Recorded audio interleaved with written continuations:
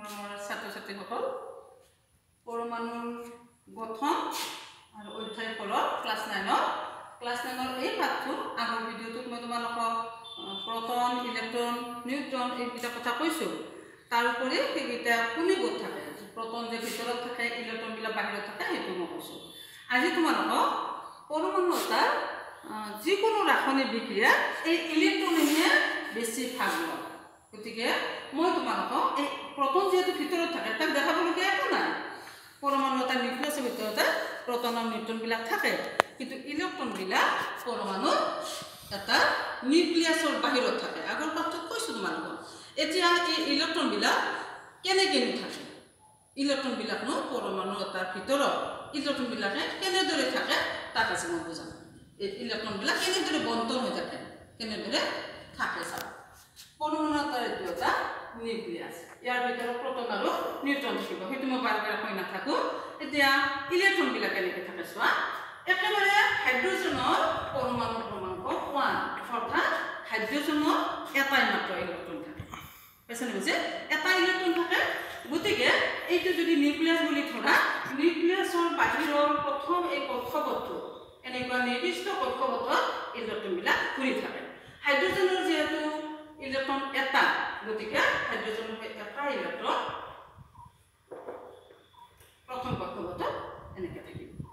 হাইড্ৰজেনৰ পিছত তোমালোকে জানা হিলিয়াম টু হিলিয়ামটো এইটো হিলিয়াম এইটো হাইড্ৰজেন হাইড্ৰজেনৰ ভিতৰত থাকিব প্ৰটন আৰু নিউট্ৰন এতিয়া বাহিৰত থাকিব দুটা ইলেক্ট্ৰন এনেদৰে নিৰ্দেশ কৰিবা প্ৰথম কক্ষপথত দুটা থাকে হাইড্ৰজেন হিলিয়াম তাৰপিছত আহিব লিথিয়াম চোৱা লিথিয়ামৰ আকৌ থ্ৰী পৰমাণু ক্ৰমাংক লিথিয়ামৰ থ্ৰী এতিয়া তিনিটা প্ৰথম কক্ষপথত এই দুটা থাকিল ন যিহেতু প্ৰথম কক্ষপথটো নিউক্লিয়াছৰ একেবাৰে ওচৰত থাকে ইয়াৰ মানে স্পেচটো কম সৰু কক্ষপথ গতিকে ইয়াৰ ভিতৰত মাত্ৰ দুটাহে ইলেক্ট্ৰন থাকিব পাৰে তিনিটা দুটাতকৈ বেছি ইলেক্ট্ৰন ইয়াৰ ভিতৰত ৰাখিব নোৱাৰে এই কক্ষপথটোত তিনিটা ইলেক্ট্ৰন থাকিব নোৱাৰে তাৰমানে প্ৰথম কক্ষপথটোত দুটাহে মেক্সিমাম ইলেক্ট্ৰন থাকিব পাৰে গতিকে প্ৰথম কক্ষপথ যেতিয়া ফিল আপ হৈ যায় হিলিয়ামৰ ক্ষেত্ৰত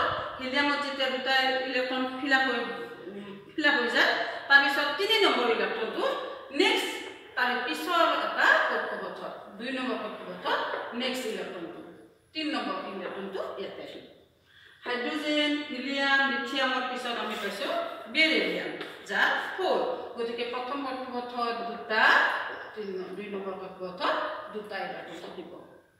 এইটো হাইড্ৰজেন হিলিয়াম লিথিয়াম বেৰেলিয়াম।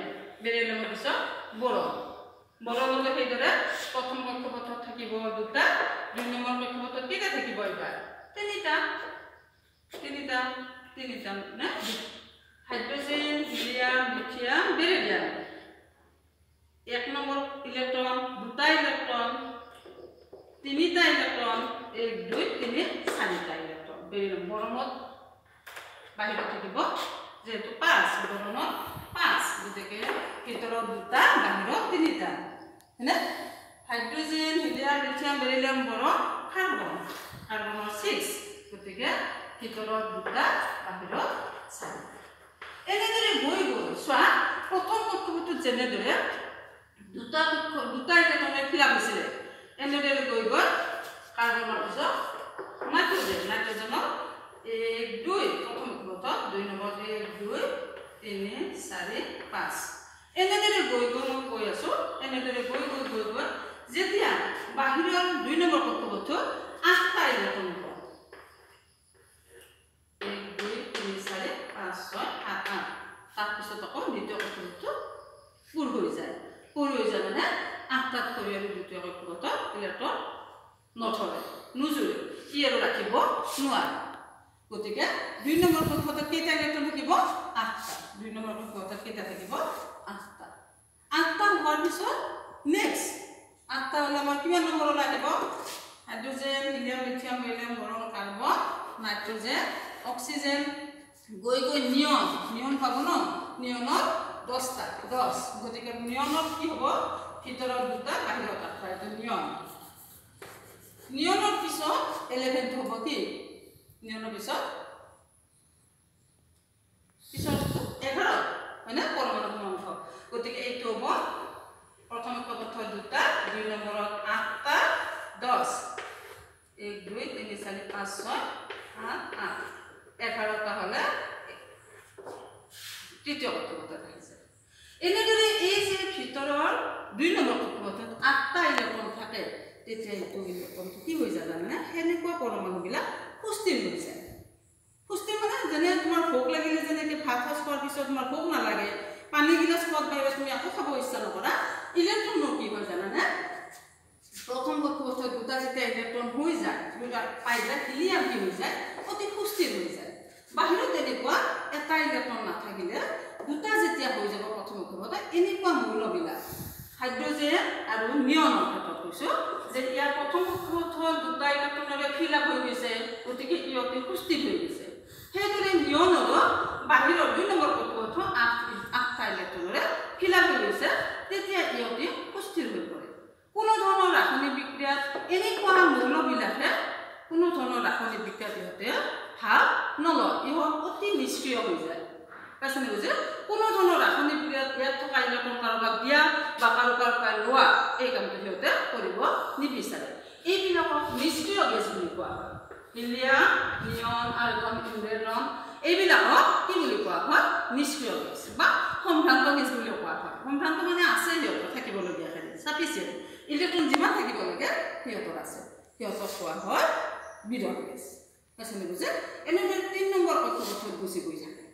বুজিছা?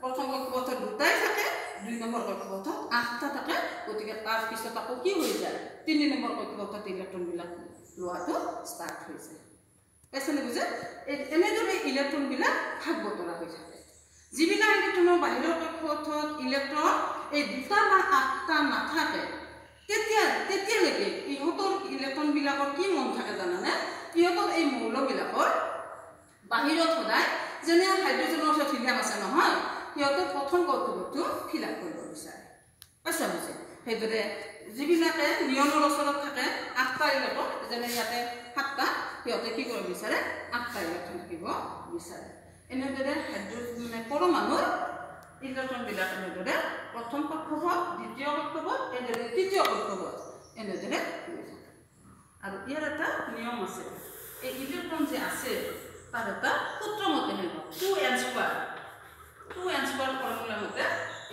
মানে এইটো এইটো হৈছে এইটো হোৱাৰ কাৰণ এইটো নিয়মটো কেনেকুৱা এন মানে